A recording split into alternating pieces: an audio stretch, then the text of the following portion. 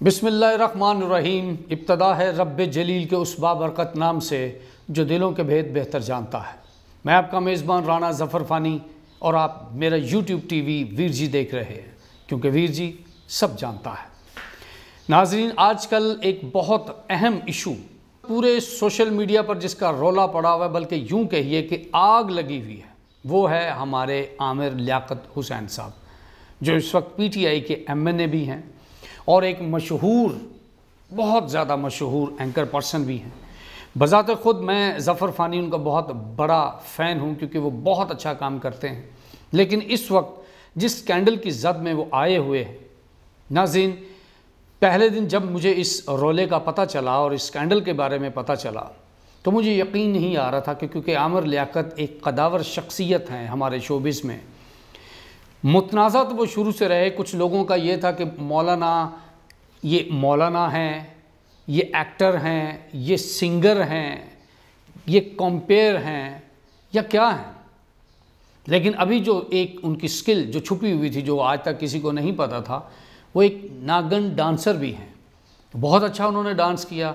लेकिन मुझे समझ नहीं आई कि, देखें, इंसान है, क्या उसके अंदर डांस करने की सलाहियत हो तो वो निकाल नहीं सकता?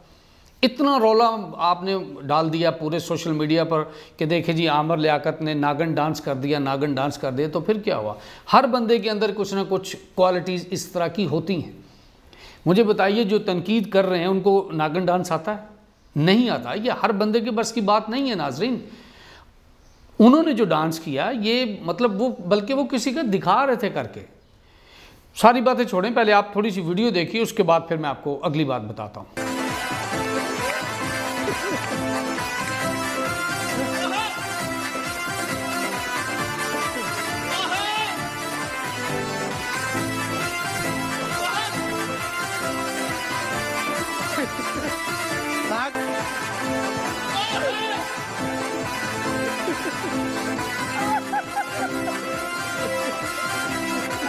नाजिन देखा कितने मेहनत से इंटरटेन किया उन्होंने अपनी ऑडियंस को। देखें, दुख हर बंदा बांटता है, तकलीफ़ें बांटता है। किसी को अजियत दे के, किसी को गाली दे के, किसी का दिल तोड़कर दुख बांटता है।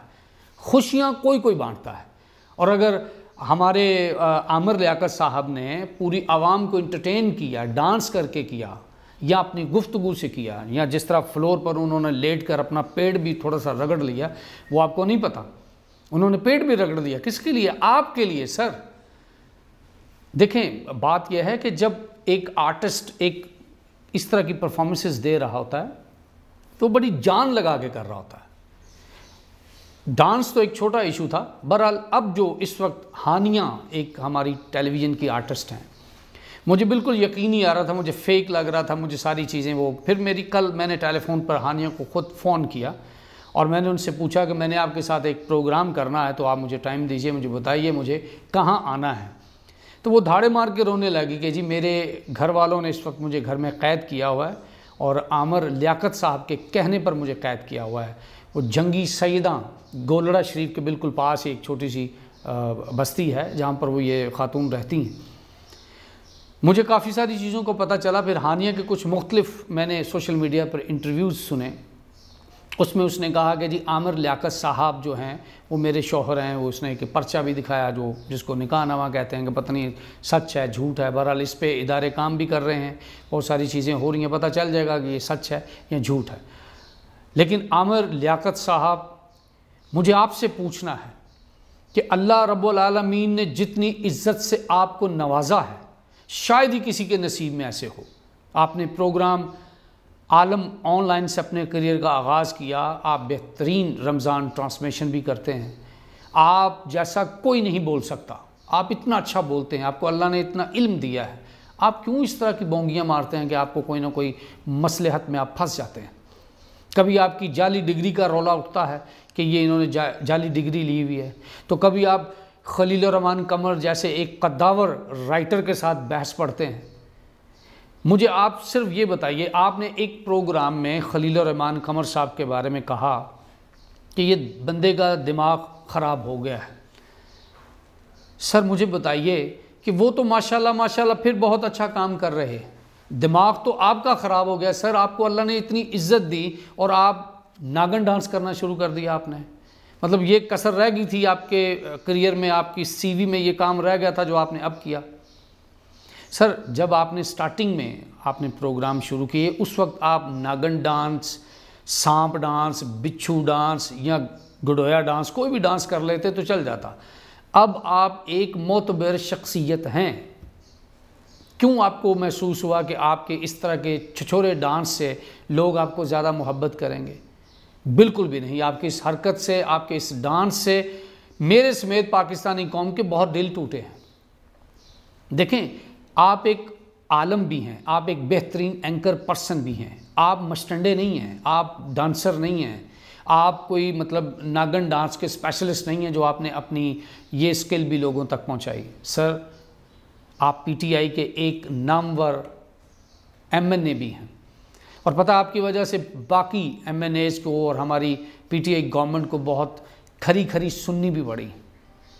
बाखुदा, हमारे बाकी जितने भी एमएनए हैं जो इस वक्त पीटीआई के साथ जुड़े हुए हैं और पीटीआई का हिस्सा हैं, उनके पास ये स्किल नहीं है जो आपने डांस करके दिखाई है, उनको नहीं आता। और वो बेहतरीन काम कर रहे हैं। आपको क्या सूझी कि आपने पब्लिक को इंटरटेन करने के लिए नागन डांस कर दिया? भाई, शरा में कोई शर्म नहीं। आपने जायज़ काम किया होगा अगर आपने निकाह किया है। सर, आप एक नहीं, दो नहीं, तीन नहीं, चार, कुरान, रसूल और अल्लाह रब्बुल आलमीन ने हमें इजाज़त दी है चार शादियों की। आप करें चार शादियाँ। लेकिन भाई, माने तो सही। और अगर नहीं की तो वो कौन सा ऐसी मजबूरी है जिसकी वजह से आप सामने मंजर आम पर नहीं आ रहे? कोई आपने स्टेटमेंट नहीं दी, आप इस लड़की का मुँह तोड़ें आके अगर ये झूठी है। और अगर सच्ची है तो यहाँ इसको एक्सेप्ट करें या इसको डिवोर्स दें। सर, आपसे हाथ जोड़कर रिक्वेस्ट है। आप एक पढ़े लिखे, एक डिसेंट एक बेहतरीन इंसान हैं। लेकिन आपकी इन फजूल किस्म की हरकतों की, या कह लें कि आपको खलील रमान कमर साहब की बदवा लग गई है, आपने उनके बारे में ये कहा था कि खुदा न खास्ता इस बंदे का दिमाग ख़राब हो गया।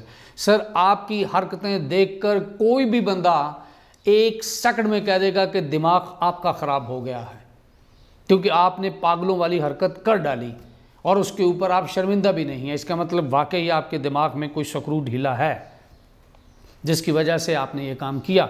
बहरहाल हकीकत जो भी है, उस पर पर्दा उठाइए, मैदान में आइए, स्क्रीन पे आइए, अपना दिफा कीजिए, और अगर आपने निकाह नहीं किया तो आप बताइए कि मैंने निकाह नहीं किया।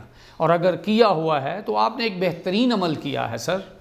ये एक नेक अमल है, आपने शादी किया है, निकाह किया है। और अगर नहीं किया तो भरपूर दिफा कीजिए, हम आपके साथ खड़े हैं। लेकिन खुदारा, जितने मर्ज़ी प्रोग्राम कीजिए, आप मुस्कुराहटें बिखेरिए, सबको इंटरटेनमेंट कीजिए।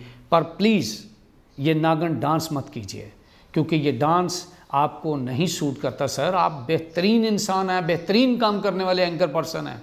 आप आलम ऑनलाइन से हिट हुए हुए हैं। अब हम क्या आपको मतलब आलम ऑनलाइन कहें या नागन ऑनलाइन कहें? प्लीज़ आप एक बेहतरीन इंसान हैं। हम कल भी आपके फ़ैन थे, हम आज भी आपके फ़ैन हैं।